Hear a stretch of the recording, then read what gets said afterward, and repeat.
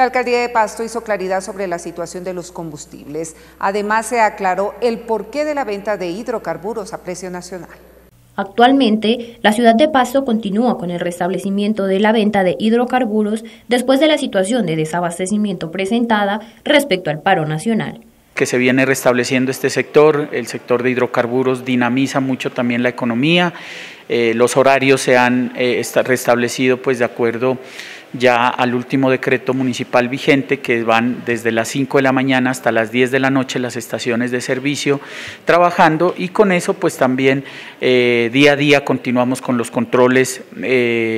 de combustible con esa estrategia que iniciamos desde el punto de control y a la fecha miramos que ya vamos en un 27% del cupo de los de más de 3.911.000 de galones de gasolina y ACPM que le cobija al municipio de Pasto y estaremos pendientes y muy atentos de que no se vayan a generar un desabastecimiento.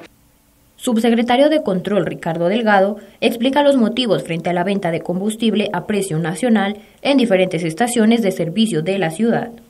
La situación eh, del combustible a precio nacional, este es un servicio público que se debe prestar y ellos están en la obligación que una vez agotado el combustible subsidiado tienen que eh, prestar el servicio pues y ya sería con el combustible a precio nacional. Eh, fue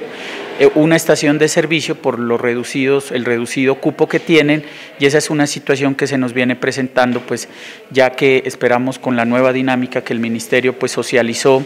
de eh, la nueva metodología, ojalá pues a estas estaciones de manera equilibrada y equitativa también puedan tener un cupo suficiente para que no se presente este fenómeno en nuestro municipio. El objetivo que tiene la Subsecretaría de Control es mantener el abastecimiento de hidrocarburos subsidiados de manera constante para el municipio hasta el mes de diciembre y de este modo evitar recurrir a la venta de combustible a precio nacional.